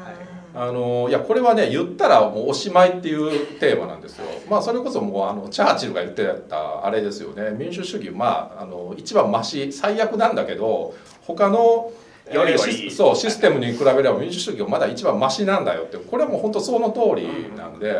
あの結論としては死守しないといけないまあまあマシなあの社会システムが民主主義なんだけども、難しいなっていうことよ。難しいです。やっぱりそのポピュリズムとか集遇政治みたいなところにもう簡単にいくってことそれを結構あもう身も蓋もなくこの17分で描いちゃったな民中監督って思いました？うん。だからある意味で嫌いな人はおそらくそこだろうなと思います。思う。要するに文中監督はもう突き放すというかそう。もうこんなもんですよ現実はっていう。もう救えないです。そうなんです、はい、あのまああとは自分たちでどう考えてくださいっていうそそれってある意味でちょっと逃げというかずるいんじゃないのって捉える人もいるかもしれないですよね。どう？うんどうなんでしょうね。あのそうずるいとままあでもちょっとずるいかなと思いますけどあのただ逆に私はこの映画の、まあ、またちょっと先に言っちゃいますけど、はい、最後のシーンのその、まあ、よくわ分からないっていうか分からないあの幻想のような、うん、あのシーンっていうのが私はあれが一番いいラストかなと思いました。要するにあれな。なんか割と今までの映画だとあのムンジュ監督のだとだから最後も突き放してあこんな結果になりましたっていう、うん。うん、もう現実とはこういうものですっていうような突き放すような。ラストで、まあ、このヨーロッパ新世紀においてもあの17分の会議の後はもうどうにもならないだろうという、うん、あの誰か死者が出るようなあのことしかないだろうって思いながら最後にもう分からないからちょっとそのもうファンタジーの域にというか、はい、あの入っていくっていうのは、私はそっちの方が好きだなとは思いました。今までのこう現実のまま、もう殺伐としたままスパッと終わるよりかは。いいんじゃないかなとは思いましたけど、どうでしょうか？えジョさんはこの最後の流れ確かにここもね大きな実は17分の後も大きなポイントですよね。そうなんですよ。ラストはどうなるかっていう、まあ、ラストはやっぱりあのマティアスっていう主人公に戻るっていうところもあるんじゃないかなと思います、ね。はい、結局マティアス何を描く選ぶのかっていうところが、さっきちょっと羊の話もあの話しましたけどラストの時も羊1匹しかないんですけど出てきましたねあそうだったっけはいはい、出ましたね。あのまあ逆にクマあのなん何とも出てきたんです、はいはいしかもあのクマはどっちかというとコスプレ的な感じですよそうだね。そこがやっぱりあのものすごくググーワー的な部分があってあの前も森さんとちょろっと話しましたけどちょうど最近公開した「クマはいない」っていう映画がジャファル・パラヒパラヒ思いました。まあそことの共通点が逆にあのおあの多かったっていうか同じ実は去年のカンヌの一本はカンヌのコンペで一本はベネチアのコンペなんですけど両方とも去年の映画なんですけどあのなぜかみんな同じテーマにやっぱり行きましたね。しかも同じテーマだし、はい、同じクマやん。です、えメタファーの選び方まで同じなの？これなんかあんのかなと思ったのよ意味多分そのイランも、まあ、詳しくはないですけどクマってまあいろんな意味で、うん、信仰のこう対象として日本でもアイヌとかあのいろいろありますけど、おそらくイランでもそういう伝説が、としてクマっていうのは象徴としてあって、このトランシルベニア地方でもクマっていうものの多分象徴する何かがあるんです、まあ、あの映画の中にも、まあ、はっきり描かれてるのは、まあ、今 EU のクマ問題があるからです。そうはいはいはい、あそうかそうそれも、はいはい、じゃあやっぱりパナヒもはいされてんのかな、はいはい、そうあのジャハル・パナヒのクマはいない No Bears ってやつね、はい、 No Bears、うん、あれはだからその村の人々が勝手に作り出した、まあ、脅威みたいなそうですね。メタファーですよね。潜在的な、うん、であの場所としてはあれイランとトルコの国境近くの村でどっちかってあれあの村人トルコ語を話すっていう設定、はい、あの設定とか状況でしたよね。でそのペルシャ語がちょっとそこに入る、まあ、似てる。似てます。すごい似てる、はい、あの状況設定も。うん。でさそのクマっていうことで言うとあの途中であのクークラックスクランみたいな人出てくるよ、うん。あのその火炎瓶投げつけるやつね、そうそう。で3人組で1人はもう完全白装束でしょ、うん、もう KKK コスプレでやってくると。でもうあと2人ってあれどうなんですかクマとかかぶってたっけ？クマじゃない。クマじゃないな、ね、いやいやあの1人はその KKK で。KKK で、はいはい、あのその2人はまた別のもんなんかかぶりもしたよね。クマあれはクマがちょっと一度確認したいといけないですね、うんクマっぽいですね。クマっぽい格好したでしょ。もう大体クマか狼のような感じですね。あ、そうそう。そういう感じです。なんか狼も多いんでしょ。はいはい、その野生動物がなんか張り紙もあったもんね。はいはい、野生動物多いから気をつけてみたいな。うん。だからなんかそのあるんでしょうね。その。えー、メタファーとして、はい、それがすごくこの了解可能なものとしてここでは共有されてるってことなのかな。うんそうちょっとねだからラストについてもお話ししたいんだけどもそのまあもうこれご覧になった方々がいるんですよね。そ、ね。はいはい、その17分をじゃあなぜその終わらないはずの話し合いが終わるかというと、うん、あのマティアスのお父さんね、はい、うん、パパオットーっていう方名前言い方されてましたけど、えー、亡くなったっていう衝撃のニュース、はい、まあ、自死ですよね。うんそしたらそのマティアスが外に飛び出し村人たちもまあ追ってあの外に出るもう本当雪景色の中なんですけどそしたら本当寒いその冬のね森の中で本当にその、えー、パパオットが木にこうぶら下がってるわけよ。であのこっからが確かにこれまでのそのムンジュ作品とちょっと様相が変わってくるラインですよね。その下をこのロープから外すよね。で、うん、そのマティアスが本当、えー、父の亡骸をこうクッと抱き上げるんですけどそしたらあのずっと言葉を発しなかったルディ君ね冒頭に出てきた8歳の息子ルディ君がそのマティアスの足に抱きついて「あの愛してるよパパ愛してる」みたいなことを初めて喋るんですよ。うん。要はもうすごいですよ、うん、あの祖父父息子、うん、で一回終わんのよねそこでね、で日が変わってあのパン工場になってあのそしたらパン工場のオーナーさんがちょっともう妥協してるよね。もう妥協しましたね。もう無理だと、はいはい、じゃあもう外からや雇わない。もう無理ですね。ってな、うん、無理になって。そしたらそのシーラさんがもう納得できないからなんかドイツから仕事の誘いがあるからもうやめますっていう。そしたらそのオーナーが、まあ、あなたまで裏切るのかみたいなね、うん、こっちも仲間割れよ。それで、えー、まああのパパオットーの葬儀に向けてってことですね。でそのマティアスがまあそのルディ君あの愛してるって言ってくれた息子を訪ねるんですけど追い返されるのよね。でそうしたらマティアスがそのままライフルを持ってシーラのうちに行くんですよね。そうですね。シーラのところ行きましたね。それシーラ撃たれると思う、はいライフを持ってる、うん、ライフル持ってる許してって命乞いするんですけどそしたらマティアスが撃ったのはクマめがけてだった。だけどその銃弾は当たらなくてマティアスが寒い外でクマに囲まれるんですよ、はい。うん、で映画終わるのよ、すごい終わり方でしたよね、はい、そうです終わったすぐ夢二のテーマですねああ、また音楽もそこも夢二のテーマ。夢二のテーマは何回もあの映画の中に出てきましたけど、ね、ラストも最ラストのだってラストいきなり夢二のテーマじゃなくてもしんとする感じもできますし。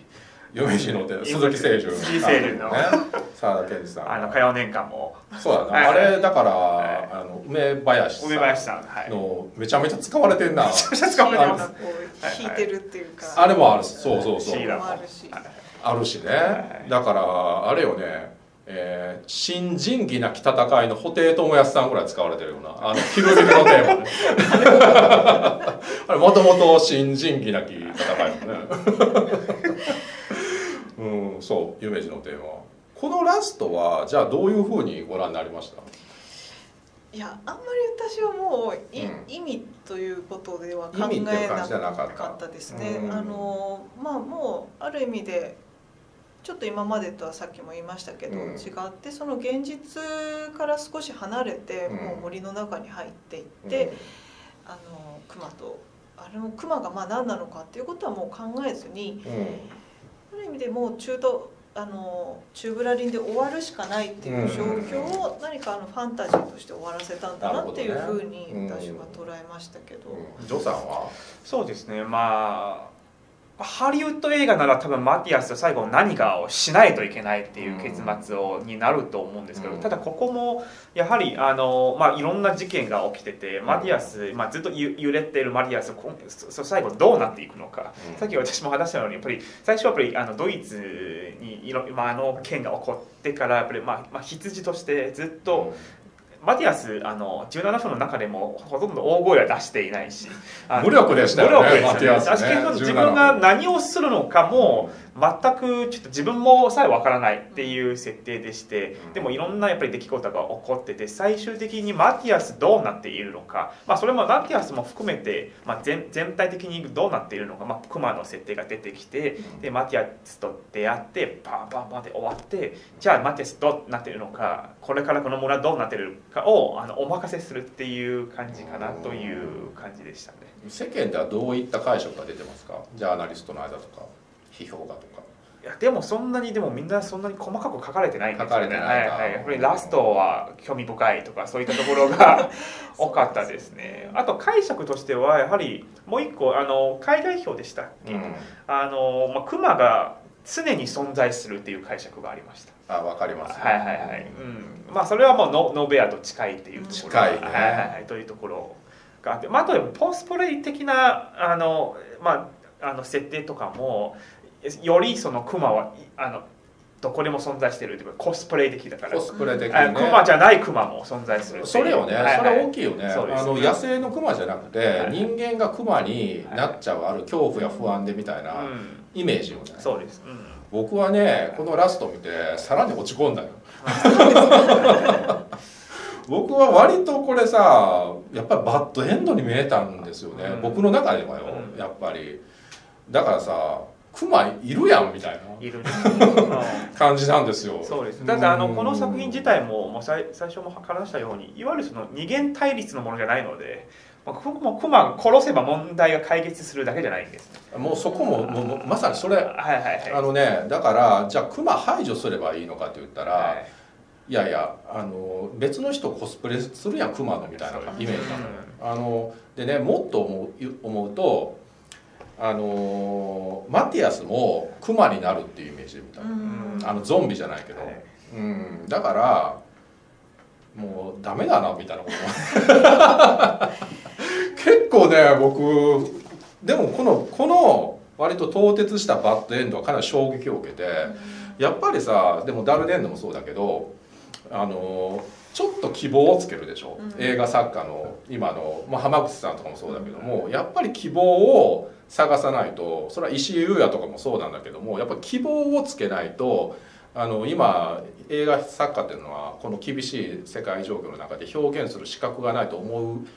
思ってらっしゃる信念を持ってらっしゃる方多いと思うんですよ。多いんだけどムンジュ監督意外にそこ希望来なかったなみたいな 衝撃は結構あってだから結構本当に絶望感は深いんじゃないかなっていうふうにも思いました。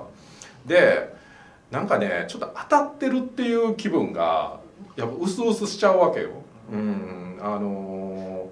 すごくそのなんだろうえー洗練された意識っていうものは声が届かなくて現実から有利してでその羊も羊のようなこの弱き人間もじゃあ自分をどう守ろうかっていう時にそれこそゾンビに噛まれたらもうゾンビになるっていうようにクマのコスプレしちゃえば助かっちゃうみたいな本当そういう世界になってるもんね。それをもうまざまざと見せられてもう嫌嫌な映画みたいなと思ったんだけど、まあ、傑作ですねって思いました。いやでもこの絶望感は、うんまあ、私もなんだかんだあの共感できるじゃ共感できるです。ねジョさんの方がさ、はい。やっぱりそのルーマニアと中国が近いというだけあって、はいはい。この厳しさ分かるってことよそう無力感ですよ。だってあれうんもうあのいわゆるそのあの欧米的政治的正しさっていう部分がやっぱり中国から見るともうもうありえないだからね。そ現実はそのままそれなんですよ。っていうところがやはりちょっとあのこれを見てもう解決できないですよね、まあ、でもあの17分を見て思ったんですよ。やはりこの世界ももう問題だらけですね。うんあの、ね。あの答えが多分ないです。ただあんまやっぱりでも生きるためにはやっぱりあの自分はちゃんと頑張らないといけないなっていうことしかないです。なってくるよな、はい。っていうことしししかないです。だから今回特に、まあ、この映画はあのコロナ前に撮ったと思うんですけど、うん。コロナを経験してからよりそういう感じがしました。で実際この映画の中であのアジアから 疫病が来るっていそうそうそうそう。非常にあのなんかあったもん。あありましたね。予見的な。あそうですね。はい。なんかあのパンのだから生地をそのこのスリランカ人のもう最初からもう差別が。で食べたくないとかってやっぱりコロナのことを思い出しましたよね。触れるあのっていうテーマがコロナ前に撮ったとはちょっと思えないくらい。そうですね、はい。そうかコロナ前に本当に撮ってるのか、はい。なんか設定はでも確かにあのコロナ直前パンデミック直前のっていう言い方されてましたもんね、うでもね確かにねあのーああいうことでもさ本当多いよね。だから私は差別主義者ではない。ただ気持ち的に触あの触るのは嫌なんだみたいなさ、ん言いましたね。あのあの17分の中でそうあったでしょ、はいはい。あれ本当にあるもんな、はいうん。もうでもねだから人だから人間ってね本当ねあのラブピース向きにはできてないんですよねどうやらね。どんどん暗くなってそうどんどん暗くなるけど僕でもそれぐらい結構落ち込んだねこれ見て。本当にあの突き詰めば突き詰めていくほど愛と平和っていう本当夢物語だなっていうふうに まあ、思うわ。夢物語だと思いますね、まあ、今年のベネチア国際合祭を受賞したあの「グリーンボーダー」っていう作品も、うん、あの近いテーマなんですけどそれももうラスト絶望しかない、あれも難民の話でした、はい、そうか、はい、でもやっぱり確かにそう聞いていくと私はこうやっぱり信念としては何かその無理やりに決してこうハッピーエンドとかではないにしても、やっぱり何かそのもう絶望だよではなくて何らかのかあの作り手としてのこう、ね、示す現実に対するこう、うん、本当にかすかでもいいから、希望のような何かっていうものは、あってほしいと思うというかそれがむしろその現実はむしろないと思うんです。もっと本当に絶望そのものだと思うんですけど、でもそれをある意味で作品であり商品として映画を作ってこうこうやってある意味で消費社会の中でこう。作って公開していく以上は何らかのその監督の意思表示っていうものを欲しいなと思ってしまうなと今聞きながら私は思うんですいやわかります めちゃくちゃわかる。映画やっぱりそういうメッセージ的なものもやっぱり出すべきっていうところもあるんですよね、うん。はいはい、それをただだから必ずしもじゃあこのムンジュ監督がまあ絶望のままで終わったからといってまあ投げっぱなしにしているかというとそういうわけではもちろんない、まあ、と思いますよね現状はこうですっていうまあ問題提起だよね、はい、うん、難しいけど本当にその MRI でこう切り取るようにあの世界をこうやって断面図で見ればこうじゃないですかっていうものをまず提示する。そこから目を背けないであのまず見ろっていう、うん、そういう意思表示ではあるのかなと。ここからだから始めないといけないというか、ね、やっぱりでも一番は確かにそういう、まあ、ハリウッドであったりこう、うん、西洋の何か今のこう表面だけのというかに見えてしまう多様性を叫んでいるようなあの社会への問題提起ではあるんだろうなとは思いますね。ちょっとその意識はあるように思いますよね。今の風潮ということでね。あとそのさっきまあ福田村事件熊いないとか出ましたけどやっぱりこのテーマが増えてきてるってことよね。そうです、ね、あのスペイン映画のあの理想郷っていうあの11月3日公開ですけど、あの面影のあのロドリゴ・ソロゴイエン監督のね、はい、あの東京国際映画祭でさあグランプリですね。あれで現代はザ・ビーストですね。確か野獣ですね。もう同じやんな、はい、同じやん。あれもだからフランスから来た知性豊かなご夫妻とそのスペインの村のゴリゴリの村人たちの対立、ここぞ予想みたいな話、まあがんに割るみたいな、話もあるんだけど。あとねその17分のそのあのまあ、ディベディベートじゃないね話し合い怒号で終わる話し合いで思ったのは今ちょうどこれもやってんだけどあの船橋敦監督の「過去を追うもの」っていうあの作品があって、うん、大阪アジアンでもやったやつなんですけどもそのクライマックスがその元受刑者たちの構成プログラムとして演劇を上演するんですよね。でその、まあ「罪人」っていうその演劇なんですけどもその上演が終わった後のその「ティーチーン」っていう場面がちょっと似てて。あのそれもちょっとそのセリフある種セリフは決めある程度決めつつ2時間ぐらい回したって、うん、あの船橋監督おっしゃってましたけどももうズタズタに紛糾するんですよ、うん、そのせっかく構成プログラムとしてあの元受刑者たちがあのそのやった演劇について皆さんどうでしたかって言ったら最初は「ああ本当良かったです」みたいな声が上がるんだけどももうだんだんこの本当17分と同じように。でもそんな人がちょっと近くにいるのは私はあのちょっと気持ち的に無理なんですけどみたいな あのことをやってそのヒートアップしているの。あのこれ前作もそうですよね。ああるある職はなだから結構その船橋監督とかはまさにその希望っていうところに何とかしてこう一つ答えをポンと突き足そうとするタイプであると思うんだけどもでもやっぱりここまでちょっと厳しい現実っていうものに一回潜らないともうなんかリアリティがなくなってきてるんでしょうね。それはすごく感じた、うん、あの他の作品との補助線も加えて。だからまあ傑作だと思いますよ。うん、あのた確かに状況自体は本当に現代的ではありますけど、うん、では過去の映画でもそれこそ激怒とか、うん、監督が今出てこないですけど「あの牛泥棒」ってあの、はいはいはいはいはい、とかでもその民衆がこう集まることによってこう、まあ、暴走していくというかこう正義を叫んでいくうちにあの結果的に重大な何かを犯してしまうっていうその集まるコミュニティやこう民衆の怖さみたいなことっていうのはある意味でその映画がこれまでもたくさん描いてきたテーマでもあるのでそのことを今の世の中にこう照らし合わせていくと、まあ、そういう暴走してしまう民衆をっていうのがじゃあどういう人たちかって紐解いていくとマティアスのようにそれこそ自分が外国に行ってこう差別される側の人間であったり多民族として本当に共同体を作っているはずなのに別のよそ者が来ると排除してしまうとかなんかある意味ではちょっと古典的なあの普遍的なテーマをあの今の世の中で描いた映画でもあるのかなと思いますね。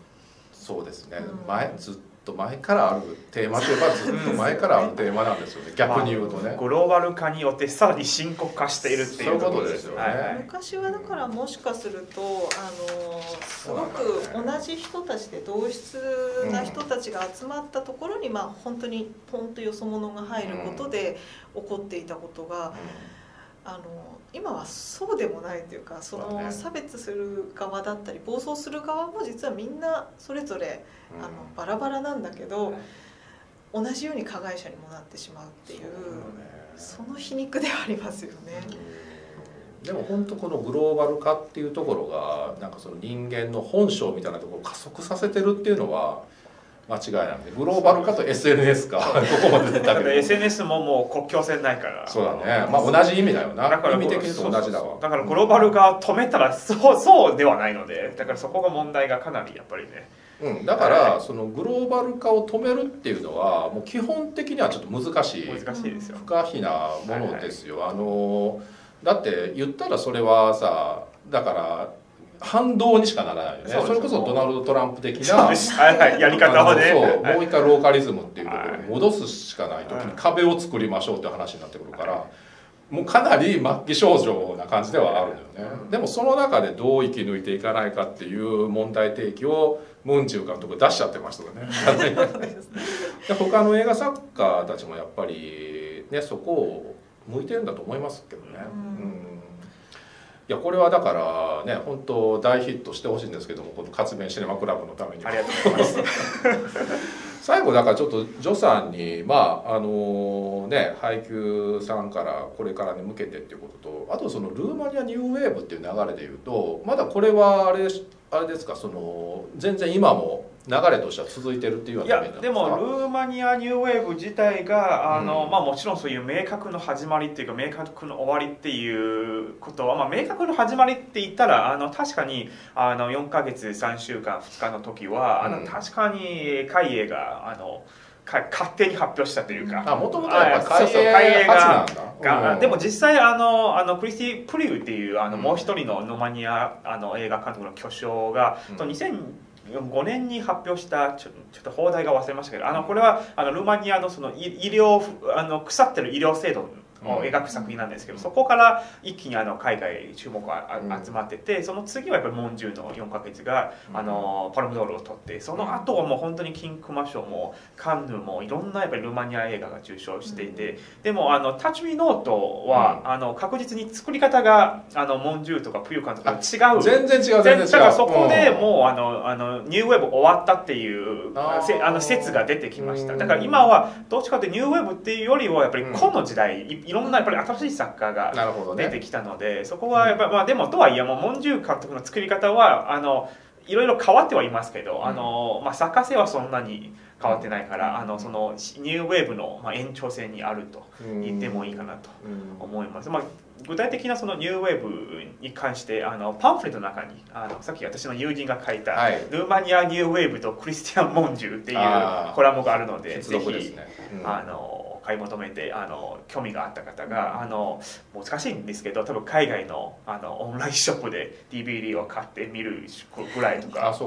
しかないですね他の作品に関しては。じゃあもう次特集上映とかをするしかないじゃないの、まあ、これからあのこの映画に関して、まあ、あの日本全国いろんなところ上映する予定でして、はい、まあ、やはりあの、まあ、さっきこの番組の中でも皆さんと一緒に話したように、うん、これはもう本当にルーマニアのとある村のことではなくてもう全世界を直面しないといけない問題で、まあ、日本も本当に、うん、まさにそのあの東京近郊でもあの、まあ、川口市であったりとか、うん、そういったところもあるいはすごくものすごくやっぱり移民が多く住んでいて、はい、実際あの中国出身の我々も多分100万人近くに日本に住んでいるようなのでだから今後どうやって一緒に生活しているのかどうやってこのような映画の中の内容にならないようにっていうところを、あのやっぱりあの一緒にあの対策を、まあ、対策っていうかやっぱりあのいい方向に、あのみんなややはりあの同じあの